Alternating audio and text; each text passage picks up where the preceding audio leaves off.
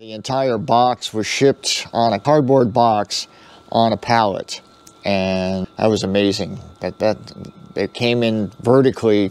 The height was six feet nine in nine and a half or nine and three quarters inch tall. It was amazing. All right, one of my biggest issues with the black box currently is I don't have a good way of keeping the bike upright in the black box. As you can see, it's tipped over. The reality is I'm most likely gonna have to take front wheel off whenever I put this in there. These locks are awesome. See right here, they're just nicely made, very clean, work well. This latch, uh, it's constantly coming off. And you can see I have this little piece right here. So I stick that on there, latch it. I mean, it feels pretty tight it's constantly uh, bouncing off down the road. The other thing is I put a bag on here. This one's not very good, but I'll show that later, just to keep all the slush off the locks. The lights work really well, impressed with that. Okay, the lights are connected to the, the RV right here. I had to get an adapter. Terrain only comes with a seven blade and I needed a four pin to go into there, so I bought it at Tractor Supply. Alrighty, here's what I had in the black box uh, just this week for trips out to Shindagin. Fat bike and uh, snowshoe, and I have these backcountry skis that uh, basically you just walk around. You don't actually uh, ski downhill very steeply.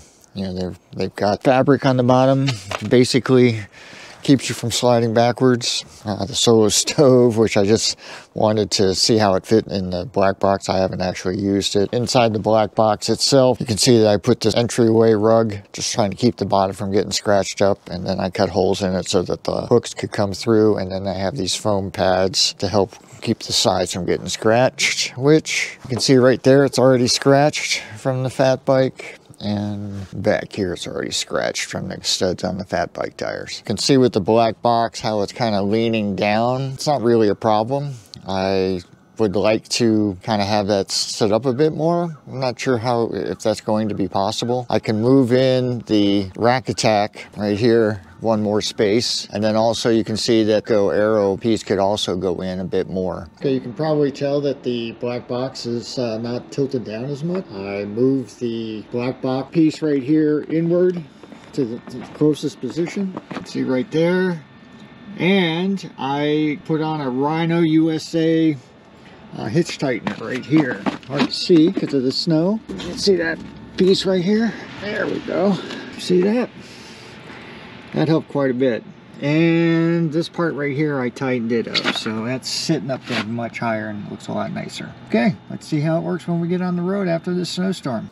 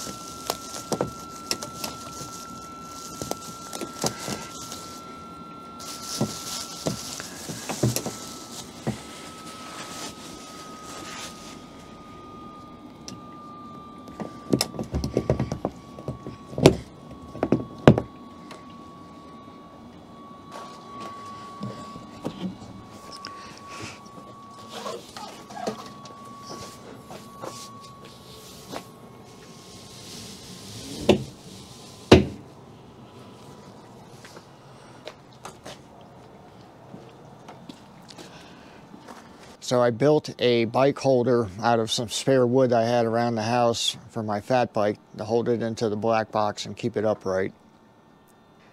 It's pretty rudimentary. The big thing is I didn't want to spend the plus dollars for the piece that Let's Go Aero wanted to sell. So I made my own. This works. I plan to build something better. My biggest challenge was to make sure that the bike and frame wouldn't tip over inside the, the black box as I'm driving down the road. So what I came up with is a couple wings part way up on the frame to make sure that the frame itself cannot move sideways back or along the same axis as braking and acceleration. So how did I do that? Well, let me show you. So right here, you can see that there's a piece of wood that's screwed onto the vertical member right here and is up against the side of the black box itself so it can't move. There's another one on the other side. Also right here on the back you can see that this is secured to the back plate of my frame so that's not going to move. The two pieces in front you can see are not attached to each other.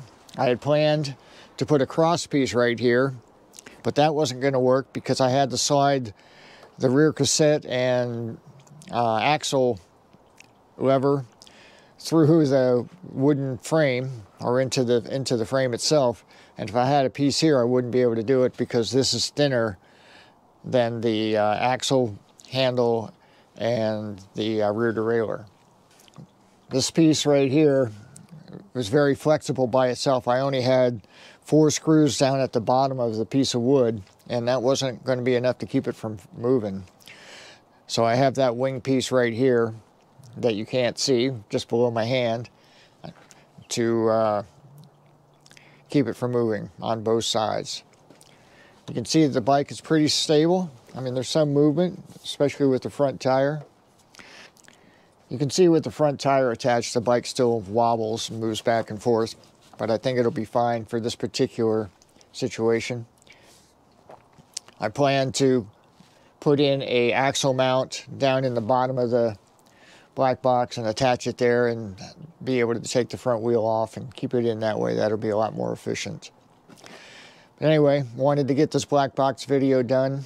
And uh, yeah, this was the last piece, sending it out. Tomorrow I'm going to Shindagin. We'll see how it does.